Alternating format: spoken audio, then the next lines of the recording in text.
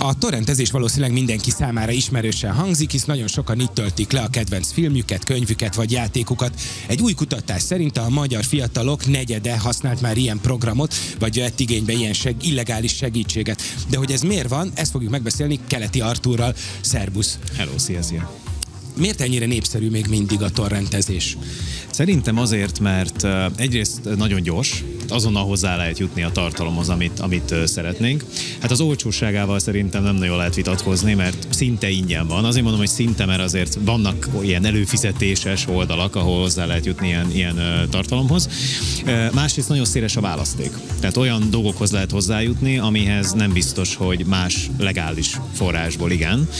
És hát természetesen az elérhetősége is egy fontos kérdés ezeknek. Úgyhogy ez egy, ez egy komplex, összetett, bonyolult kérdés, hogy miért torrenteznek az emberek. Tehát ez már megvan, de azért ennek nagyon erős visszatartó ereje, ereje is van, azt gondolom, mert egyrészt ez egy illegális dolog, azért ezt szögezzük le. Hát hogy nem, természetesen az pontosabban az, hogy az ember torrentezik, az még nem illegális, az, hogy mit torrentezik, az az illegális, és hogy itt viszont már vannak olyan digitális tartalmak, ugye filmek, főleg zenék, játékok, ezek, amit az emberek sorozatok, az emberek leggyakrabban torrenteznek. Na ezek már jogvédett tartalmak, és ezeket illegális letölteni. Az viszont, hogy ez mennyire visszatartó erő, ez egy érdekes kérdés, hogy a fiataloknál azért, azért jellemzően nem csak ez visszatartó erő, ha egyáltalán tudják azt, hogy mi az, ami legális vagy nem legális, hanem az is, hogy esetleg milyen vírusok vagy egyéb, egy, egyéb dolgok támadhatják meg a gépüket. Igen, mert itt nagyon sokszor kérnek azért egy bankkártya adatot, nagyon sokszor kérnek e-mail címet, azért ez hordozhat magában veszélyeket, azon felül is, hogy mondjuk illegális tartalmat töltünk Persze, le. először is ugye, amikor hozzáférünk a tartalomhoz, ott is kérhetnek tőlünk dolgokat, amit nem kellene, hogy kérjenek, itt is lehetnek problémák. Majd, amikor föltelepítünk valami olyan klienst, amivel majd mi torrentezni akarnánk, ott is lehetnek problémák, majd aztán, amikor letöltjük a tartalmat, és a tartalmat kicsomagoljuk, abban is lehetnek problémák, tehát azért ez egy sok rétegű veszélyforrás. Vagyunk ennyire előre látók? Mert azt gondolom, hogy amikor az ember meglátja a kívánt filmet, vagy könyvet, vagy zenét, amit ő nagyon szeretne meghallgatni, mm. megnézni, akkor ő akkor elkezdi ugye az apró betűs részt se átolvasni, hanem elkezd ezeken átugrálni. Rögtön x rögtön beírja csak, hogy Persze. nézhessem. Persze. Tehát akkor ennek igazán visszatartó ereje van? Tehát, hogy mi ezt tudjuk, hogy azért ebből lehet probléma? Attól függ, hogy hogyan érvényesítik ezt a visszatartó erőt. Mert az, hogy, az, hogy van egy törvény, az oké, okay, általában átugorják az emberek, igen, apró betűs ezt nem olvassák el.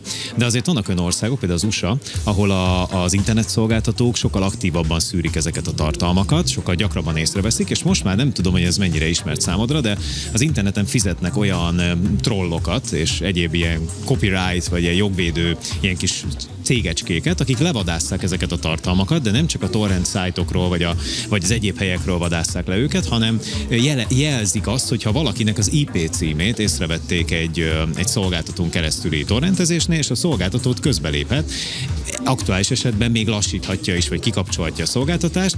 Ezek a, a trollok pedig időnként küldenek leveleket mindenféle bírságokkal, meg felszólításokkal, hogy akkor nem kell fizetned most mondjuk 100 ezer dollár, de 3000 azért lehet, hogy jó lenne. Tehát valaki már mondjuk az USA-ban például kaphatott esetleg ilyen levelet. Ilyenfajta büntetést. Uh-huh. Mi a helyzet nálunk? Azért nálunk is egyre több oldal jelent meg, amik ugye legálisan kínálnak tartalmakat, havi, napi előfizetésért cserébe. Ez visszaszorította nálunk a torrentezést, vagy még így is azért mi egy, egy torrent hatalom vagyunk? Azért nem mondanám, hogy torrent hatalom vagyunk. Pont a, hoztam magam egy statisztikát, hogy az Európai Unió az Na. éppen most adott ki egy statisztikát arra nézve, hogy az Európai Unió átlagához képest a fiatalok nálunk, 15-24 éves korosztály, ez körülbelül hogy torrentezik.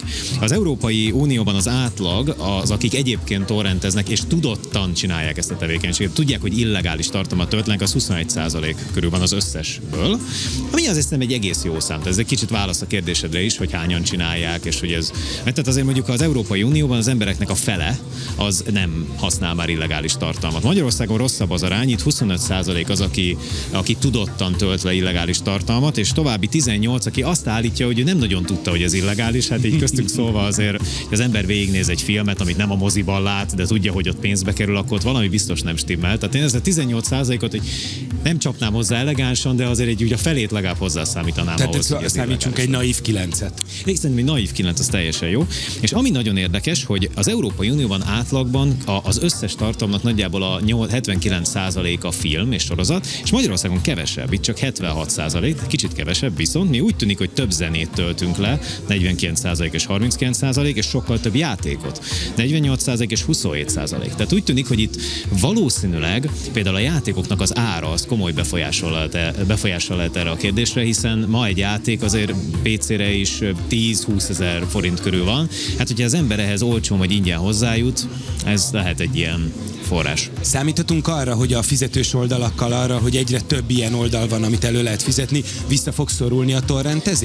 Vagy ez mindig megmarad majd egy bizonyos százalékban? Valamennyire megmarad, de most már egyébként az internet ö, teljes ö, tartalmának kb. 80 százaléka ilyen digitális média tartalom, tehát most már azért nagyon komoly üzlet ez, uh, és én, a, én arra számítok, hogy ahogy növekszik ezeknek az elérhetőségre, egyre olcsóbbak lesznek, ugye versenyeznek egymásra a szolgáltatók, szerintem egyre inkább életszerű lesz ezeket a tartalmakat fogyasztani, illetve van, van másba is változás.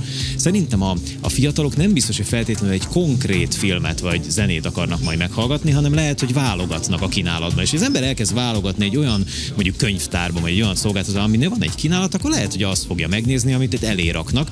Plusz ezek a szolgáltatók ugye válogatnak például mesterséges intelligencia segítségével filmeket, és hasonlókat, tehát ajánlást is kapunk. Úgyhogy szerintem megéri inkább a fizetős irányba elkanyarodni, és a statisztikák is azt mutatják, hogy erre felé megy a világ. Jobb, teljesebb szolgáltatást fogunk kapni, az és már biztos. Biztonságos. És biztonságos. Ez nagyon fontos. Köszönöm szépen, Én is voltál.